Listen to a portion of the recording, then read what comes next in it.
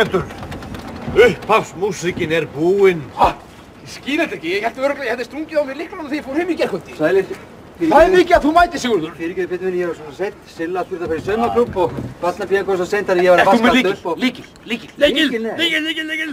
Er þið læstir úti? Hvað sýnist þér maður? Útsendingin er byrjuð, þetta er skandal. Er svo leiðilegt, Pétur, vegna þess að ég er með svo spennandi og góða frétt. Ég verði eiginlega að fá að komin að. Ættum við ekki að reyna gluggan til Já, þrautar? nei, nei, nei, nei, við það tók okkur hálf tíma að ná ófægi út aftur þegar hann festist á hann. Hálf Jú, það var hálf tími. Ha? Dagblad Nei, Það var hvað er Nei. Hvað segir þið þingar? Maður, hvað segir að því? Út með það! Getum við ekki að láta strákinn skriða nú gluggan fyrir okkur? Strákinn, strákur, herðu, strákur, farðu hérna um glugga fyrir mig, lyftu þér upp. Já, já, hérna. Farðu varlega, vinnur. Skrýttu inn um glugga þarna. Herðu, það er gulur jakki hérna á stólbakki. Farðu í hann og lestu fyrstu kynninguna og komdu svo og hleypt okkur inn. Hvað er hann að lepa okkur inn í þetta? Þetta var nú vel gert, Pétur.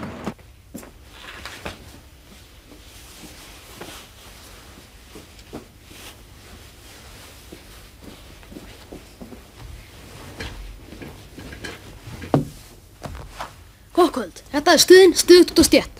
Hér á eftir hefur gungu sína þáttaröðin auðna auðæfi sem sé frá nokkrum auðkýfingum sem hafa jafnvel etni á að stunda nám við Háskóla Íslands. En fyrst að þetta. Næsti, gjör svo vel. Já, hvað næn? Góðan dag. Gjör svo, seti.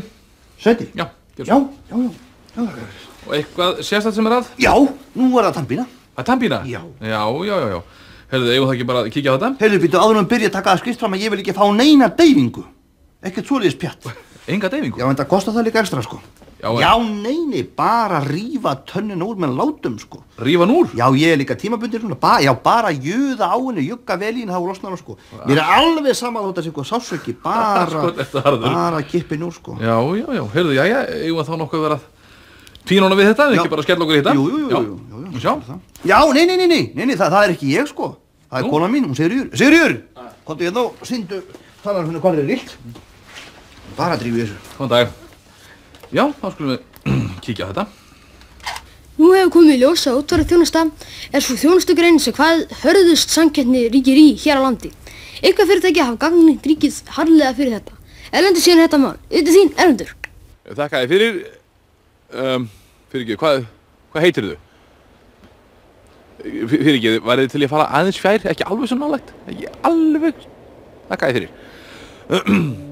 Eh, Sigfinnur hjá Jarðaförum HF, Sig, Sigfinnur, Sigfinnur.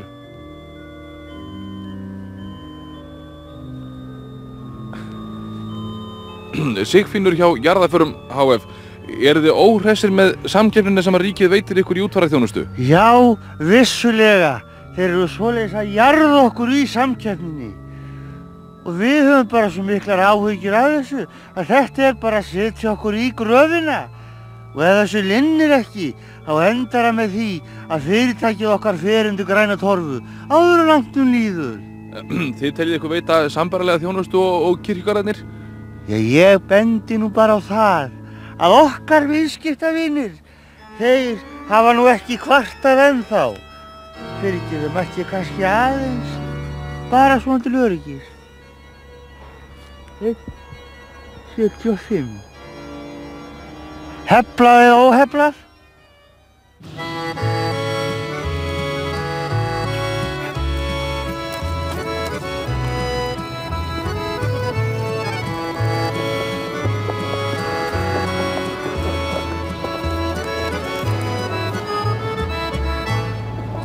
Hvað segirðu, finnur ekki líkilinn? Nei. Ertu búin að leita í öllum skúfum? Já. Það er þá bara mitt að ræða. Hvað fegur? Ó, aha, fara frá því minn. Já.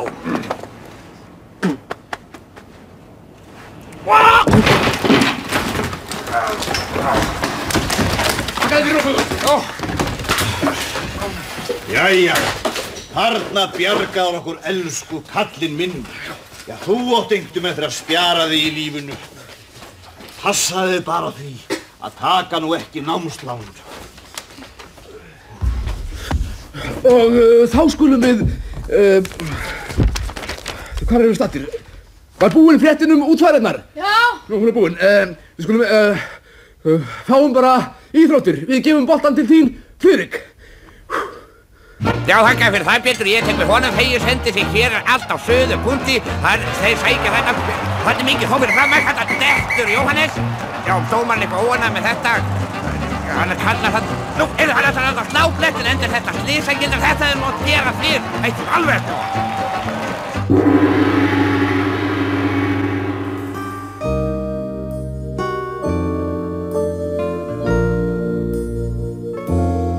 Í litlum lánasjóði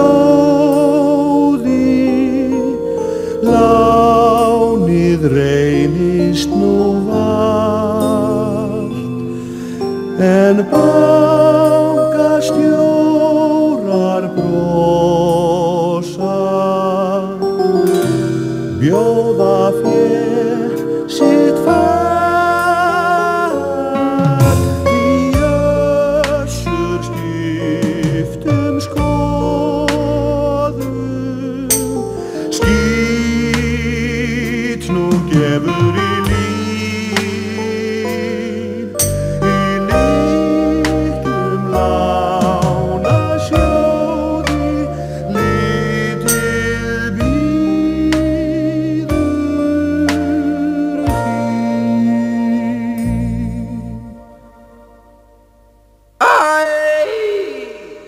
Hvaða jaxl er þetta, segir þau? Þessi, já. Aha. Sjá. Mm. Ekki þessi? Nei, nei, þessi. Og Þessi, já. Og sjá. Aha. Þessi. Á. Þakka þið fyrir.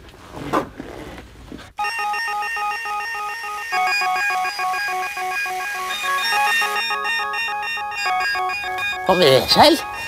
Eh, Undanfarið hef ég verið að vinna að eh, lítilli uppfinningu eh, fyrir alþingi Íslendinga og ég hafði hugsað mér að kynna þessa uppfinningu mína fyrir ykkur í þættinum í kvöld. Eh, ákveðnir aðilar innan vefbanda alþingis hafa upp á síðkastið kvartað sáran yfir því eh, hversu marg orðir þingmenn vilja vera um sömu málin. Eh, bladra út í þá endanlega, út í loftið um, um allt og ekki neitt. Nú eh, þess vegna hefur þótt sérstaklega ástæða til að stemma stígu við málæði eh, stjórnar andstöðu þingmanna og það var einmitt með þetta vandamál í huga sem ég hannaði þennan einfalda en afar hugvið samlega hlut. Eh, Þessa litlu blöðuru hér nefni ég blaður skjóðu. Nú, blaður skjóðan er tengd hér við mælsku mæli og á honum er trekt sem síðan er komið fyrir á ræðupúlti alþingis og bladrið eh, lendir síðan niður um þessa trekt og ofan í skjóðuna og við skulum þá líta ögn nánar á það hvernig blaður skjóðan þjónar hlutverki sínu. Hér standa menn bladrandi daginn út og inn. Það bunar svoleiðins út úr þenn kjafthátturinn og ruggli það ærir óstöðan æ ofan í æ. Menn þvaðra og, og ruggla Þegar um hefur efni. mál sitt, Það ganga byrjar um blaður hæsta skjóðan að tíð þenjast út. að Eftir því sem hann leggur fleiri þegar orð í belg, eh, stækkar belgurinn. Og eftir tiltekinn tíma er mælirinn fullur. Nú þegar hámarks blaðurmagni er náð, fer síðan í gang eh, sjálfvirkur sleppi búnaður. Þess vegna spyr ég enn og aftur. Og við það dundrast þingmaðurinn niður í kjallara. Svona einfalt er málið. Nú er nú búið að vera hann að hálfgett meðjur þá nú Nei, það er Hafsteinn þess að sækir inn. Og hann Kjell, Kjelli skorar. Kjelli sko hann er kátur af honum. Fagnar gífurlega alveg ros Nú byrja þarna við nú eitthvað hafa Já, hann má ekki fagna mikið í hitta leiksins. Það vont þetta gerfingras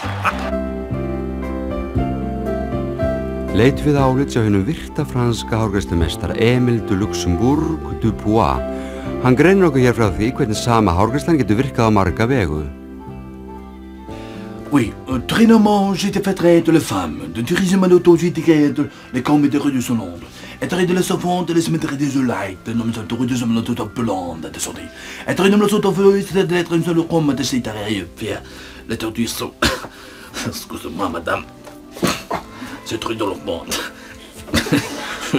Oups, c'est malade. Oui, merci.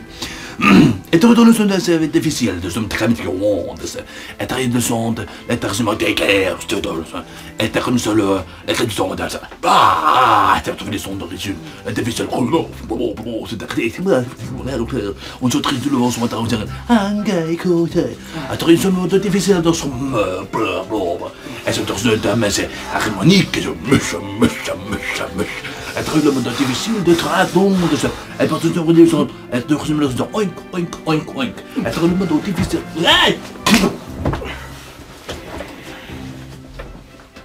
Sacre bleu. C'est dans de femme, dans le traité, dans le matacon, de tout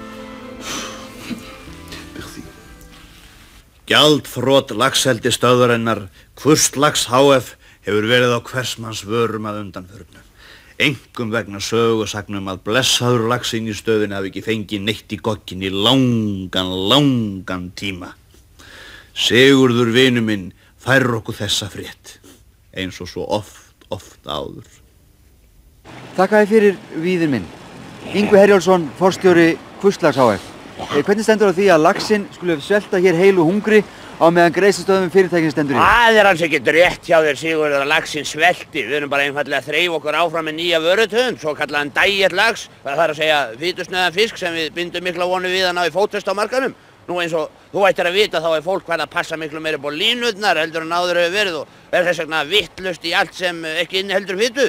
Og við erum bara að laga okkur að breytum markasastæði með þessu og þess vegna settum við laxinn á sérstakt meiruna vegi.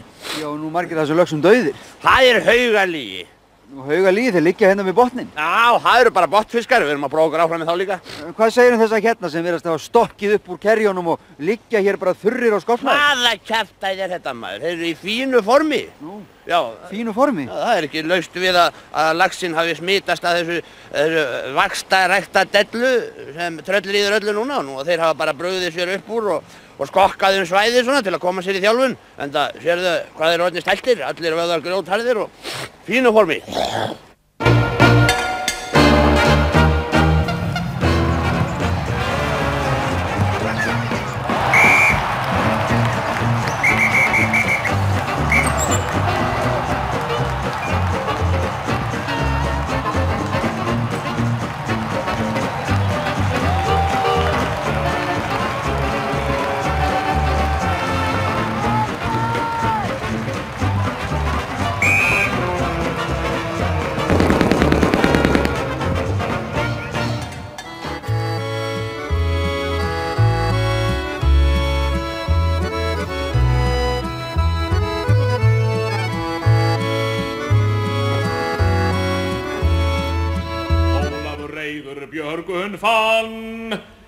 Viltist hann, trilltist hann. Til að rétt af ríkiskassan Þar skulda bálið brann. Bækur vildi burt úr sjóði menningar Bækur vildi burt úr sjóði menningar hann. Kom þar út einn kratamær, Viltist hann, trilltist hann. Svo var Óla ekki kær. Þar skulda bálið brann. Bækur vildi burt úr sjóði menningar Bækur vildi burt úr sjóði menningar hann Með Bessi er ég ekki res, Viltist hann, trilltist hann. Heldur vil ég helgu krestar Skulda bálið brann. Bækur vildi burt úr sjóði menningar Bækur vildi burt úr sjóði menningar hann. Ólafur hetjan rökk í kút. Viltist hann, trilltist hann. Minni vildi varpa út þar skulda bálið brann Bækur vildi burt úr sjóði menningar Bækur vildi burt úr sjóði menningar hann. Össur hvað ég að þig sett Viltist hann, trilltist hann. Mærin sagði ég fer ei fett Þar skulda bálið brann. Bækur vildi burt úr sjóði menningar Bækur vildi burt úr sjóði menningar hann. Össur bjargaði engu gat. Viltist hann, trilltist hann. Hún var kyrr og herfið satt Þar skulda bálið brann Bækur vildi burt úr sjóði menningar Bækur vildi burt úr sjóði menningar hann Komið þið sæl. Í kvöld ætlum við að kynna okkur það hvernig við skörum eldað eigin köku. Við förum einfallega þannig að því að við byrjum... Ég vil benda mannum á að þó þetta heiti eldústasumræður, þá mega menn ekki taka þetta svona bóstaflega og við byrðum að víkja úr ræðustólum friðmar. Já, uh, uh, við förum þá bara í þurft að setna. Og kjærlega fyrir og verið sæl. Næst tegur til máls.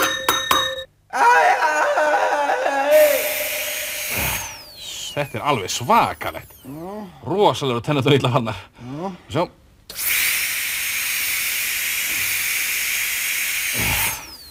Þetta, þetta verður bara að döga. Sko, þú verður að passa þetta betur. Það, það er miklu betra að fara varlega sko heldur en að lendi í svona erfiðum. Ha. Og hérna, í guðanabannum farðu varlega þú ert að saga.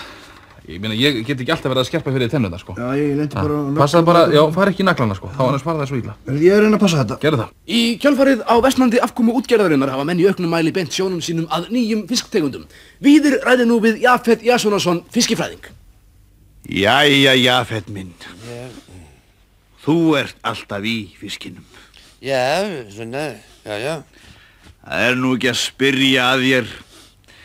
En segðu mér nú, hvaða nýjar tegundir eru þetta nú sem þú mælir með að við förum að nýta? Já, það er auðvitað fullt af tegundum sem enn hafa ekki verið uh, nýttar að neinu marki en sem við verðum að fara að huga að ef ekki að fara illa fyrir útgerðinni. Nú við skulum kíkja á þetta bara hérna. Já, ég bendi til dæmis á þverhausinn. Hann hefur fundist hér við land að því að rannsóknir hófust en aldrei komið okkur að neinu gagni. Nú, slefberinn er líka býstna algengur og hefur auðvitað aðalega verið til óþurftar og sama má segja bæði um bakbítinn hér og svo aftur kjaftaskinn hér. Þessar tegundir hafa fram að þessu nær eingöngu verið fæða fyrir vissar kvalategundir, svo sem öskurreiðina sem þú sér hér. Flestir kannast einni við, við uppskapningin og ég til laungori tímabært að nýtja þann stofn eitthvað. Og sömum má segja, sömu sögum að segja um hérna sömsprettuna þó að, þó að hún geti á stundum verið dálítið vandraðaleg. Nú en hins vegar er, eru aðrir stofnar sem við verðum að fara mjög varleg í, til dæmis hérna kommin hér, en hann er nánast útdauður og nýjustu rannsóknir hafa einnig leitt til ljós að, að kratinn er í stórkastlegri útrýmingahættu, en það gerir nú ekki til. Nú og þeir spila hérna rálega upp völlin. Það er Lalli, gefur á Guðmund og Guðmund er bolta inni á Grím og skalli. Þetta er rosa skalli hjá Grími. Alveg, hann er gull skalli en Grímur. Þangar, hann gerir skalla Grímur bara. Ég verð bara að segja, þetta er langbesta perma sem ég fengi um dagan. En æðisleg! Ég þarf bóstilega ekkert að gera við hárið. Ég er bara að hrista hausinn og það er allt komið á sinn stað. Mikið gaman að heyra þetta. Já, já. Það kemur sér líka mjög vel því ég hristi svo oft hausinn yfir rugglun í þinginu. Já. Og þess vegna er hárið alveg líka. Hvernig er það fósetti? Er engin leið að fá að ljúka máli sínu hér? Það ágreinilega að svifta okkur óbreyta þingmenn algjörlega málfrælsinu. Ég er hér að reyna að fjalla um endurgreiðslur á námslánum. Ég vil gera aðtöðsett við hárgreiðslu þingmannsins. Já, Sár, ég held að þú ættir nú bara að fara að endurgreiða þér. En það stendur allt út í loftið. Akkur farið ekki í strípu? Ég veit ekki bara að taka Gæti gæti ég fengið að að ljúka, gæti ég fengið að ljúka málinu hér? Einhvern veginn bara hrista þetta betur. Virulegi fósetti, gæti ég ekki bara sett í það gél og, greitt það aftur? Hvað segja námsmenn um það? Við mótmælum allir! Nú, jæja þá. Það er enginn þetta fór nú betur en áhorðist. Já, þetta er það. Þá er bara að ljúka þessar útsendingu. Já, já, já, já, já. Hver læsti hér? Það er búið að læta. Er eitthvað með líkið að þessu? Já, já, lítið. Já, stakkur. Þetta er með lítið. Þetta er nú ekki einleikið. Hæ, Petur, máta að stóða líkið þinn? Nei, nei, nei, nei, nei, nei, nei.